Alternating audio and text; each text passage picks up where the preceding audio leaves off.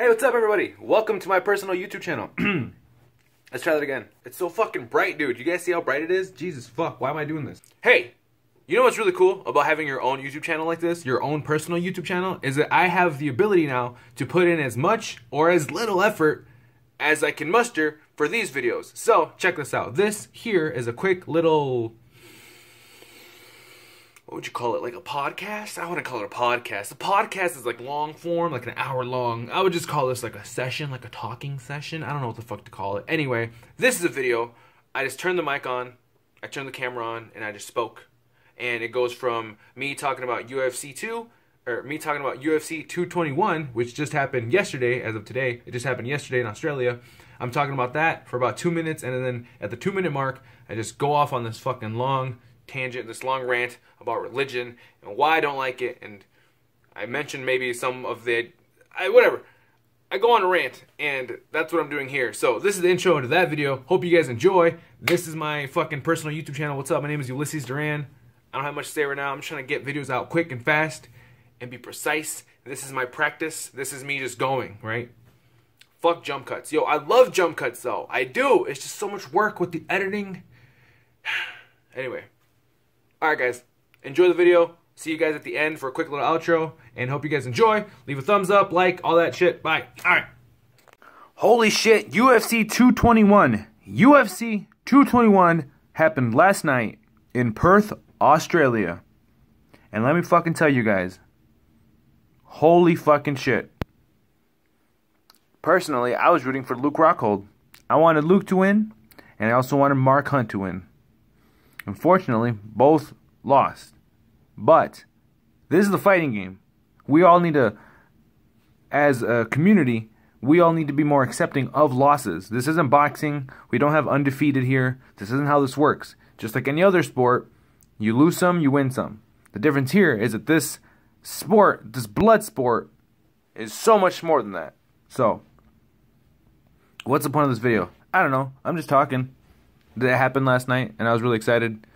I was watching on Instagram. Yo, shout out to Instagram. I use Instagram to watch all of the live events, like every single pay per view. I'll just type in hashtag, like for example, last night was hashtag UFC 221. You tap that into, into Instagram, you click the search, and you'll find all sorts of videos of people that people are uploading of the fight. Of course, it's in a couple second intervals. Now it's in a dude. I literally used to watch it on Instagram when it was only 15 seconds. I used to sit there and watch like entire matches as people posted them in 15 second intervals. Now they do like a full minute, which is nice. But anyway, yeah, that's how I watched my. That's how I watched my fucking experience, my UFC experience. That's how I, I did last night.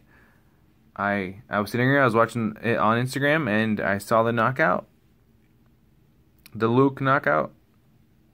Yo, shout out to Yoel Romero though. I don't fucking like the guy. I'm gonna tell you why. Cause he's so Jesus and he's all about fucking soldier of God. I don't know, dude. I don't like God. I don't like the religion and this idea of their God or a God, and it just it pisses me off because, as far as I'm concerned, having people like that is bad. It's bad for, for us as a society to have people in positions of power or people in positions of success who are attributing attributing it all all almost always they're attributed oh thank you God I want to thank God I want to thank thank you know they attribute it all to this fucking non-existent thing which hurts many many people I am 100,000% against religion and all of it. Someone said, What about Buddhism? Motherfucker, I don't know. I'm not trying to be specific here. I'm just saying all religion in general, bro. The idea, the concept, the whole smorgasbord behind religion as an institution is, is it's fucked up. It's based on ignorance. It's based on wives' tales and superstitions, and it hurts people. That's my biggest problem. People say, "Oh, live and let live. You know, uh, you should be free to believe what you want to believe, bro. You can believe what you want to believe. You can believe that fucking chimpanzees, uh, fucking beamed us down from Mars, and that's how we all got here. I don't give a fuck if you believe that. What I give a fuck is that when too many people start believing this shit, you guys all get to get to bunch up and group together and start passing laws, legislation. You guys are doing real harm to the world. Not just the country, I mean the fucking world would be better without religion. If we could just like think for ourselves and say, no, there is no higher being. Let's fucking get our shit together now. There's no such thing as an afterlife. Let's make this life count. And no, my argument is not so much about their belief of an afterlife, because as far as I'm concerned, some people need fucking coping mechanisms, and some people need that for their sanctity of mind. That when I die, when my kid died, when my mama died, when these things happen, they're not gone forever. They're somewhere waiting for me. You know, any sort of afterlife idea that you have, that's fine. That's not my fucking problem here. My problem is the judgment. My problem is the hatred that comes from religion. The hatred for others of other religions. The hate towards your fellow man and quiet judgment that you give them based on your holy scriptures that you fucking read at the dinner table. I mean, fuck. I hate religion. I hate it so much. The same way I hate racists, you know, because racists wish death upon those that they dislike. That's the same way I hate religion. The difference here is I don't wish death upon the racists. I don't wish death upon these televangelists. No. I wish upon them a good ass beating, maybe. But I'm not trying to. I don't want no one dead. That's the problem. That that's that's the difference between the the person on the right side and the person on the wrong side. Yes, I'm saying if if push came to shove, then something needs to be done about these fucking treacherous beings on this planet Earth, known as racist and these religious fundamentalists. Yes, we should we should do something if we are being attacked. If they are doing what they're doing, which is gang trying to gang up on everyone else passing these fucking laws that only help them. And everything, oh, Kain, what are you talking about laws? Like, specifically, what are you talking about law? Motherfucker, look it up. I'm not gonna sit here and fucking do disclaimer after disclaimer and explanation after explanation and go on the side road Or, oh, well, let me, let me just, let me, let me not generalize. Oh, not all men. Oh, I didn't mean all white people. I know that statistically it's impossible for all cops. No, fuck that. I speak the way I want to speak.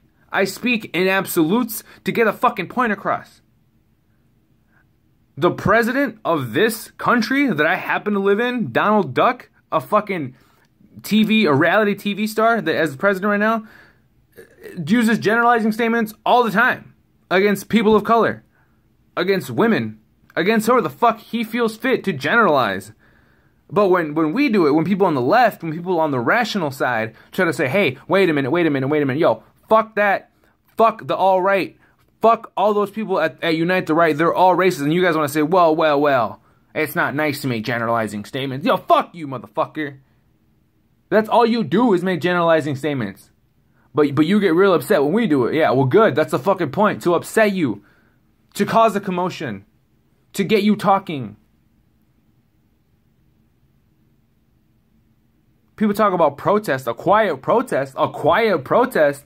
That's an oxymoron if I ever fucking heard one. A quiet protest. Get the fuck out of here. And I'm not dogging on anyone in the past who has done these types of activism. That's okay. That is needed. We thank you. What I'm saying is this is not the way I want to pursue my activism, is sitting down, having a fucking shut-in. No, fuck that.